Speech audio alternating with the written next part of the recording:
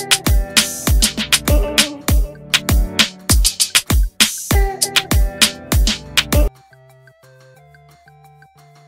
วพิมพ์ทองมีหนุ่มคุยเยอะยังไม่ถูกใจสเปคเป็นผู้ใหญ่แต่ไม่ใช่รุ่นพ่อฟุ้งผู้ชายเต็มสต็อกวันที่ 2 มีนาคม ที่สถานีโทรศัพท์ช่อง 8 ถนนประเสริฐมนูกิจนักแสดงสาว ดาวพิมพ์ทองวชิราคม มาร่วมพิธีบวงสรวงละคร เพลงรักรอยแค้น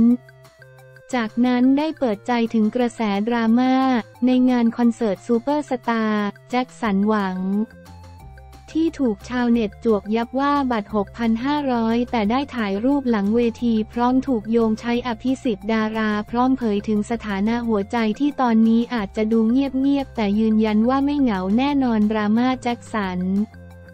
ก็โดนเล็กค่ะ ก็อยากจะขอโทษแฟนคลับทุกคน เอาจริง ๆ การที่เขาชวนเข้าไปเจอ เราก็มีความอยากที่จะเข้าไป เพราะเราเองก็เป็นติ่งท่านหนึ่งการที่เราจะได้สัมผัส หรือเจอกันใกล้ๆโอกาสมันก็น้อย ในเมื่อจุดนั้นมันมีโอกาส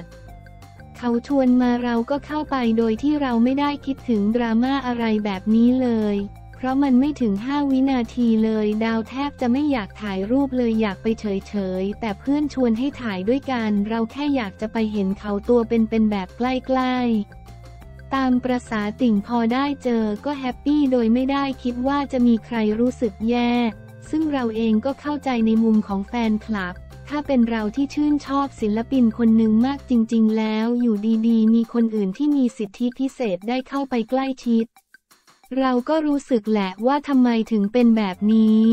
ในฐานะติ่งเรียกว่าชีวิตนี้ complete แล้ว มัน complete มันแฮปปี้แต่เราก็ไม่ได้อยากจะมีความสุขบนความทุกข์ของคนอื่น ถ้าพูดถึงเรื่องอภิสิทธิ์ดารามันไม่ได้มีแค่ในประเทศไทยมันมีทั่วโลกแหละ อาจจะด้วยความที่มันเป็นการทำงานในวงการเดียวกัน connection ต่างๆ ทางทีมแบรนด์เสื้อผ้าของแจ็คสัน หวังเองก็มีการพูดคุยฝากโปรโมทกันอยู่มันเป็นเรื่องของ connection ที่เขา keep contact กันไว้ แต่ถ้าใครไม่เข้าใจมองให้มันเป็นดราม่าก็ขอโทษด้วย เราไม่ทันคิดถึงตรงนี้จริงๆ ได้อ่านคอมเมนต์ อ่านทุกอันเลยค่ะ ก็ดาวไประดับหนึ่ง มันมีการทักเข้ามาส่วนตัวค่อนข้างเยอะ จิกกันไม่จบจริง ๆ แฟนคลับที่เป็นแฟนคลับเขาจริง ๆ น่ารักมากนะ เขาเข้าใจเขาไม่พอใจก็จริง แต่พอเราอธิบายไปเขาเข้าใจ แต่มันจะมีแฟนคลับบางประเภทที่ไม่ใช่แฟนคลับจริง ๆ ก็จะมาโจมตีใส่ แต่อารมณ์ที่แรงสุดคือจะมาดักตบกลางคอนเสิร์ตเรารู้สึกว่านี่มันไม่ได้อยู่ในยุคของการใช้ความรุนแรงกันขนาดนั้นแล้ว มันก็ไม่ใช่เรื่องรุนแรงจนถึงขั้นมาดักตบ มันขนาดนั้นเลยเหรอ ถ้าคุณจะเดินมาสั่งสอนก็เดินมาขอคุยด้วยหน่อยว่าอย่าทำอีก อย่าให้เกิดเหตุการณ์อย่างนั้นอีก เราก็เข้าใจได้เอาจริง ๆ มันสุดวิสัยถ้าครั้งต่อไป หรือเขาชวนกันอีกกลายเป็นว่าดาวไม่สามารถไปได้ เราเจอแบบนี้มาก็คงจะแบบไม่ไปดีกว่าไป ก็ไม่สบายใจอาจจะไปช่วยเบื้องหลัง เราไม่อยากจะพูดอีกแล้วว่ามันอะไร ยังไงถามว่าระวังไหมคงดูเป็นจังหวะไป ตอนนี้ก็ยังอยากเจอนะ แต่อยากเจอในรูปแบบของการทำงานดีกว่า อย่างงานเสื้อผ้าเขาก็เรียนเชิญมา งานเนสกาแฟทางทีมงานก็จ้างเราไปทำงาน คือเข็ดแล้วกับการไปเจอกันแบบประชิดตัว เข็ดแบบเข็ดเลยก็อยากให้ทุกคนเข้าใจในมุมของดาว ซึ่งดาวเองเข้าใจในมุมของทุกคน ถ้ามีดาราที่เราชอบเป็นติ่งอยู่มาชวนอีกจะไม่ไป คือเจอแบบนี้เป็นใครก็ต้องคิดกันก่อน แล้วนี่เจอมาก็ต้องคิดเยอะนิดนึงว่าผลกระทบมันจะเป็นยังไง อาจจะไม่คุ้มแล้วการที่มันออกเป็นข่าวไปในอนาคต ถ้าจะมีสามีมีลูกแล้วกลับมานั่งอ่าน ก็ไม่อยากให้มีเหตุการณ์แบบนี้เกิดขึ้นอีก รูปคู่ที่เราได้ถ่ายคุ้ม มันไม่ใช่รูปคู่จริง ๆ มันเป็นรูปที่ถ่ายกันสามคนแล้วคอปไปเป็นรูปคู่เราให้เกียรติศิลปิน และเพื่อนที่ชวนเราเข้าไปว่าเราไม่ขอถ่ายคู่ เป็นมารยาทก็คือถ่ายด้วยกันเลย แต่ที่เห็นคือภาพ crop ซึ่งไม่คุ้มเลยกับสภาพจิตใจที่ต้องมาแบกรับดราม่าต่างๆ มันก็แฮปปี้ในระดับหนึ่งแหละ แต่เราไม่อยากมีความสุขบนความทุกข์ของคนอื่น มันเลยพูดไม่ได้ว่าฉันมีความสุขมาก ถ้าลีมินโฮมาไทยแล้วอยู่ๆมีเซเลบริตี้สาวๆ ดาราผู้หญิงได้เข้าไปถ่ายรูปด้วยนี่ก็ไม่โอเคนะ ทำไมละก็เลยเข้าใจไงแล้วหัวใจตอนนี้เป็นยังไงบ้าง ว่างมากๆ มีคนเข้ามาตลอด แต่คุยไม่เคยถึงสองอาทิตย์ก็ไม่คุยดีกว่า คือยังไม่ถูกใจ ผู้ชายสมัยนี้มันแปลกๆ มันจะมีคำพูดอะไรที่ทำให้เรารู้สึกว่าน่าจะคุยกันต่อไปไม่ได้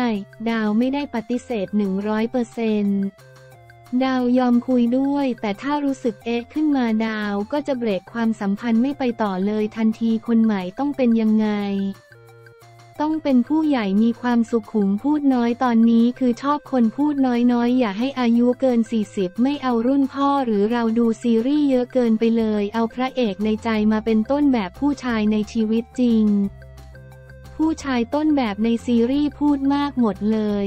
ผู้ชายในชีวิตจริงอยากให้เป็นคนที่สงบ เหมือนพ่อดาวรู้สึกว่าเราพึ่งพาได้ทุกวันนี้ก็พึ่งพาพ่อตลอดเวลา ตอนนี้ไม่มีแฟนก็อยู่ได้ เพราะมีแฟนมโน ใช่มีแฟนมโนเต็มไปหมดเลยเยอะมาก ศิลปินดาราไอดอลเกาหลีชีวิตจริงไม่มีแฟนก็อยู่ได้อยู่กับซีรีส์ทุกวันสามารถเปลี่ยนผู้ชายได้รายวันรายชั่วโมง ผู้ชายในสต็อกเยอะมาก มีความสุขมากในจุดนี้แฮปปี้เข้าใจเนอะ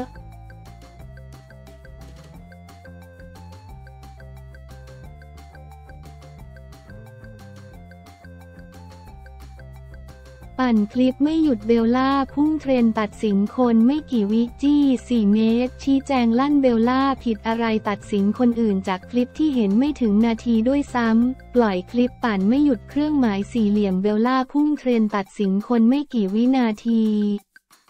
สุดทนจี้นางเอก 4 เมตร ชี้แจงถามลั่นเบลล่าผิดอะไรวันที่ 2 มีนาคม 2566 ในโลกทวิตเตอร์มีการแห่ติดแฮชแท็กเครื่องหมายสี่เหลี่ยมเบลล่าพุ่งขึ้นเทรนด์หลังจากมีการไปขุดคลิปต่างๆ นานาของเบลล่ากับเพื่อนๆ ในวงการบันเทิงจากงานต่างๆ ในติ๊กต็อกผลพวงจากการถูกโยงไปกับคอนเทนต์ของนางเอก 4 เมตร ดราม่าแย่งซีนทำให้มีการไปคุ้ยคลิปเบลล่า ไม่ว่าจะเป็นคลิปตอนไปรับรางวัลกับแต้วจากซีรีส์สุภาพบุรุษจุธาเทพแล้วเหมือนต่อว่าเบลล่าแย่งแต้วถือถ้วยรางวัล หรือช่วงยืนถ่ายแบบกับหลายๆ คนทั้ง9คริสมิวแล้วมีคนบอกให้ดูสีหน้ามิวเป็นต้น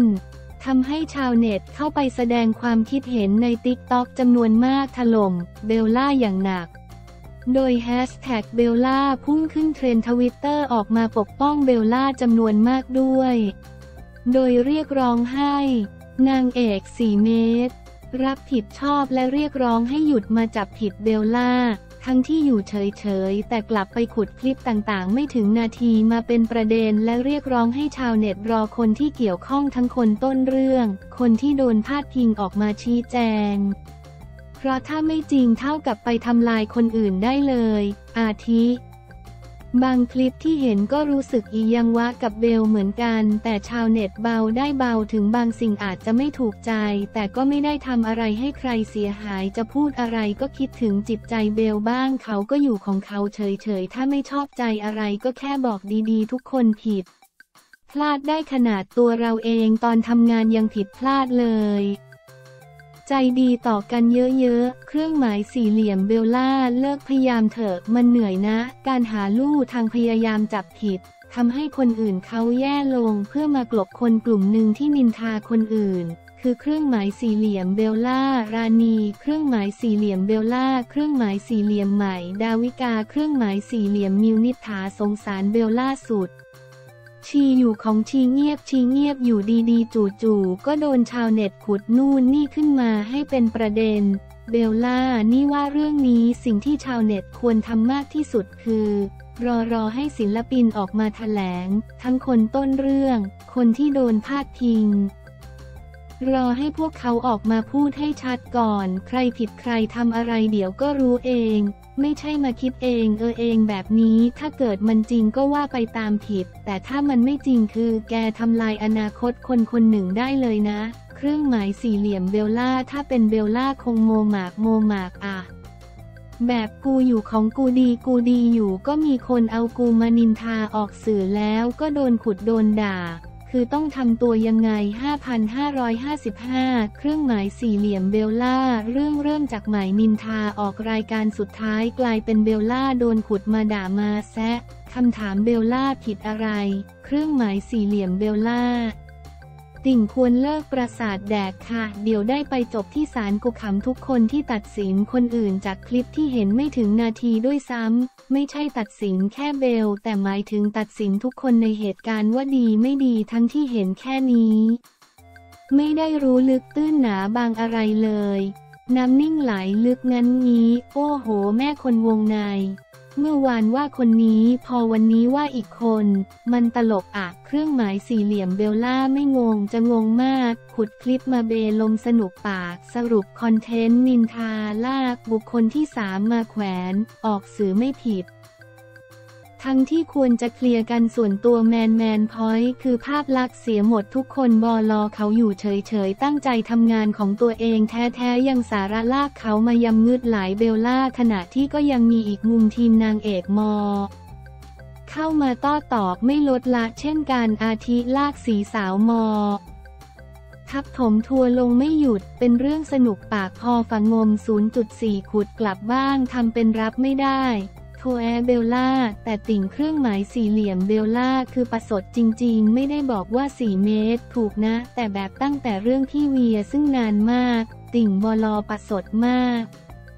ด่าพี่เวียด่าชิงชิงเชียร์คบโป๊บทั้งที่บอลอมีแฟนพานไปหมดทุกสิ่งอย่างหาเรื่องไปขุดคนนั้นคนนี้มาด่าทั้งทั้งที่เขาก็อยู่เฉยๆ พอมีเรื่องนี้คือเหมือนเพิ่งมีสติว่าไม่ควรมีใครถูกขุด จ้าที่มาเบลล่า